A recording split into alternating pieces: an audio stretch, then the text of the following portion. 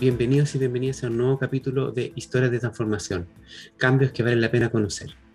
En esta oportunidad nos acompaña Mauricio Pino.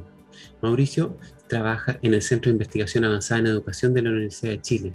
Tiene una experiencia muy importante en temas de, relacionadas con la, educación pública, el aprendizaje sistémico y en red. Eh, le damos la bienvenida a Mauricio para que nos cuente su historia de transformación.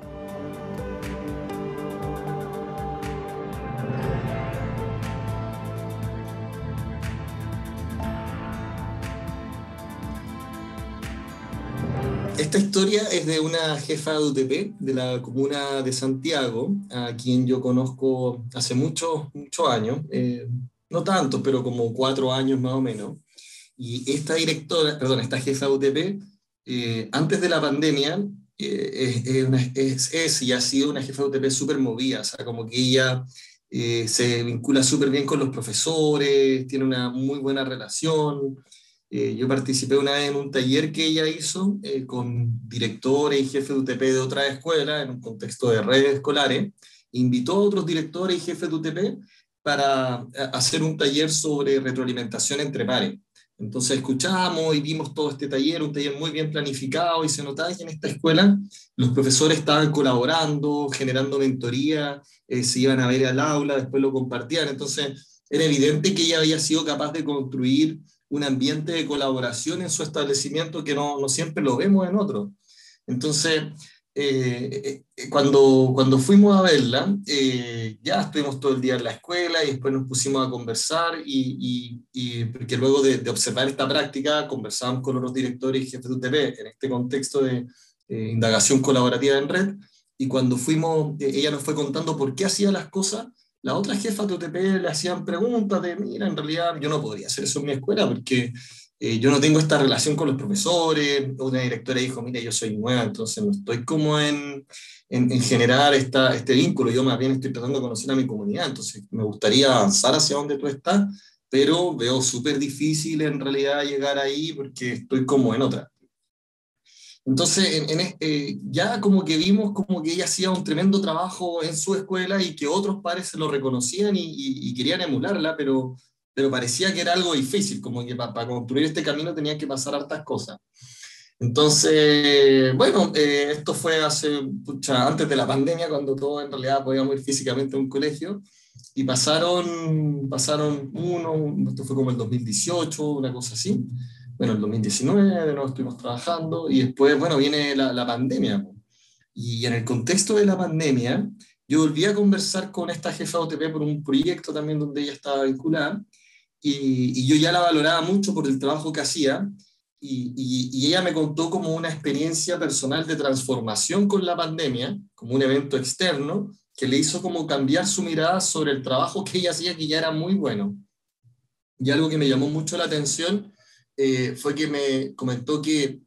eh, eh, ella siempre consideraba que el liderazgo tenía que ver con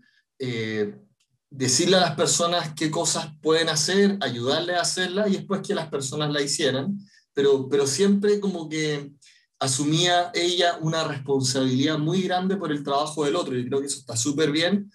pero eh, agregaba en este contexto que un elemento clave era desarrollar autonomía en otra y en otro, que no era, eh, ya hacía un tremendo trabajo juntando a la gente, pero ahora sentía que con la pandemia y con todo lo que estaba ocurriendo, como que ella estaba sobrepasada y, y en parte lo estaba porque eh, seguía eh, como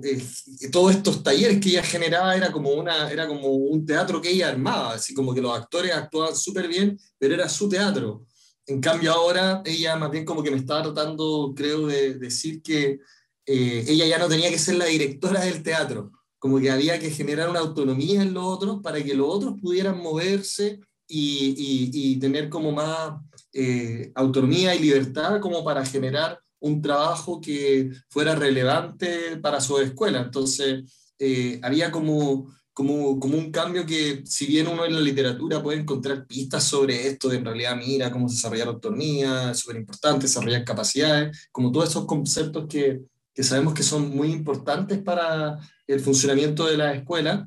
acá lo que había era como un darse cuenta de algo a partir de la experiencia y que creo que como que trascendía la literatura y también como que me enseñaba algo a mí, como, oye, qué importante en realidad desarrollar autonomía, porque como ya yo, yo, yo la había visto, yo pensaba que eso era la autonomía y ahora me doy cuenta de que era algo mucho más profundo y es como uno en realidad se siente capaz de hacer algo en un contexto muy desafiante y lograr que sea exitoso eh, eh, en ese mismo momento. Entonces, esa fue como una historia que a mí me llamó mucho la atención de cómo una jefa UTP como avanzaba en sus capacidades de liderazgo y la resignificaba. Y otra historia que me acuerdo así como, como, como breve eh, fue la grabación de un curso eh, también de indagación colaborativa en red, donde participan muchos directores, jefes de UTP, estábamos en un momento de cierre del curso, una ceremonia, también en contexto pandémico, que no es la, la típica ceremonia como FOME, que están como todos sentados y hablan solamente la autoridad y después entregamos un cartón, porque en esa ceremonia lo importante es el cartón, pero acá hicimos una ceremonia mucho más eh, participativa, como que no fue, el cartón acá no es lo más relevante, es importante, es una ceremonia, pero esto no se trata solamente de este, eh, de este, de este, certificado, sino más bien de, de, contar la experiencia, de qué fue este curso. Entonces hicimos una ceremonia muy distinta a otras que habíamos hecho antes, y, y ahí una, una directora dijo que lo, lo más relevante para ella en este contexto de pandemia había sido eh, generar una, una, comunidad con otras directoras y jefes de UTP. Como que haber construido esta comunidad con otros y otras le ayudó a abordar situaciones súper duras de su escuela y también las que estaba sintiendo con sus estudiantes, temas dramáticos que han ocurrido y están pasando en este momento. Entonces, como que eso fue muy relevante y algo que dijo que me, me llamó la atención es que junto a esa sensación de comunidad, comunidad con otras directoras y con otras jefes de UTP, con la comunidad de su escuela, entonces nos dijo, ahora pienso que la comunidad de mi escuela no está simplemente en mis profesores y profesores, sino que es parte de toda esta comuna, porque yo estoy en esta comunidad más grande. Entonces estoy involucrándome comunidad en esto y siento que ya la comunidad educativa no es solamente mi escuela y mi apoderado, sino que es casi como la comuna en la que estábamos trabajando. Y eso también fue como, me llamó mucho la atención, me recordó una cosa que hacen los escoceses que dicen, mira, nosotros probamos mucho la colaboración, entonces estamos como preocupados de la educación, no de cada escuela, sino como del, del sistema. Y la responsabilidad de un director no es de su propia escuela, sino que es también de lo que ocurre con los estudiantes de toda la comunidad. Y, y, si bien es un sistema muy distinto al nuestro, y escuché eso en Escocia como el 2017, me gustó mucho escucharlo ahora en una directora acá, en un contexto chileno, pandémico, con este tipo de política, y fue como, oye, qué impresionante lo que se puede lograr cuando uno genera una metodología que conecta a las personas. Muchas gracias Mauricio por las dos historias, son historias interesantes porque conectan una transformación individual, ¿cierto? Interna, que se, luego se va viendo como reflejada en transformaciones que vienen hacia afuera de la persona, en la comunidad o entre comunidades más ampliamente, como lo acabas de relatar recién. Te agradezco eh, tu participación en, en, esta, en este encuentro y nos estamos viendo más adelante. Muchas gracias. Gracias a ti, Luis Felipe. Que estén muy bien.